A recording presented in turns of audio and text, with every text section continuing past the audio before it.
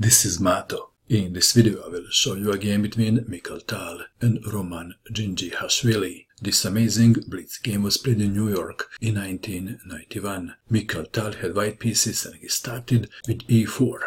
Roman Dzindzichashvili played c5, the Sicilian defense. Knight to f3, knight to c6 and now c3 intending d4. Dzindzichashvili played d5 e takes on d5, queen takes on d5, d4. Is this the Alapin variation?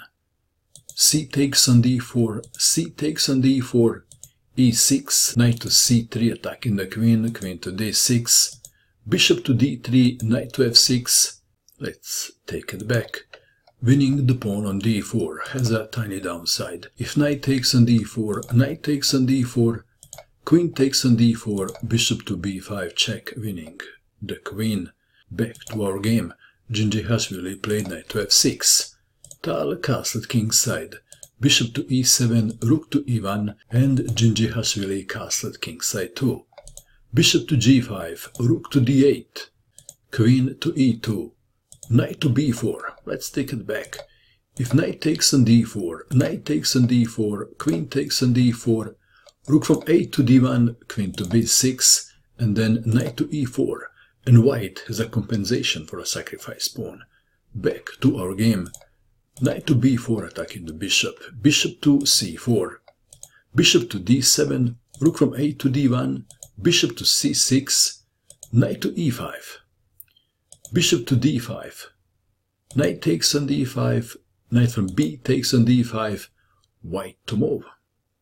How would you continue? Tal played rook to d3. This is a part of a big plan. The rook is on the way to the king's side. h6, asking a question.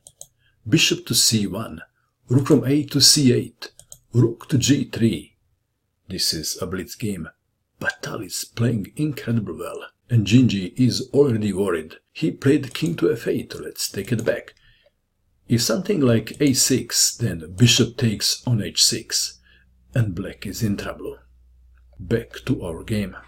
King to f8, bishop to b3, rook to c7, intending to double the rooks on the c file. Queen to f3, rook on d to c8, and black is in the control of the open file. Maybe.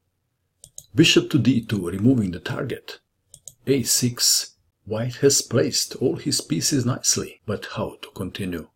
What would you do in this position if you had white pieces? Please pause and find the best move for white. Did you pause? What did you find? Did you find this amazing rook sacrifice? Rook takes on g7. A little shock for Gingy. Is Tal bluffing? Should black take or not? Well, white is threatening rook takes pawn on f7. If something like uh, bishop to d8 defending, then queen to g3 is deadly. So, taking the rook is the strongest move. King takes rook. Why to move. What did Tal have in mind when he sacrificed the rook? What is the follow-up? Please pause and find the best move white. Did you pause? What did you find? Queen to g3 check doesn't work. After check, king to f8, bishop takes on h6 check, king to e8, and black is okay. Back to our game. What is the move then? The move is bishop takes on h6, check, the second piece sacrifice. Tal had to see this move before he sacrificed the rook. Black to move. The offer was not accepted, king to h7. Why? If king takes on h6, then what happens then? The knight takes on f7 check, winning the queen. Back to our game. King to h7. White to move. How will you continue now? Perhaps knight takes pawn on f7 comes to mind. Do you agree? Tal played the queen to h3, lining the queen with the black king. Knight to g8, threatening knight takes bishop. But white played a move and black resigned and the move is bishop to f8. Dzindzichashvili resigned in view of this continuation. Knight to h6. Queen takes knight check. King to g8. Queen to g7. Check. Mate. Wow, what a brilliant blitz game. What do you think of this game?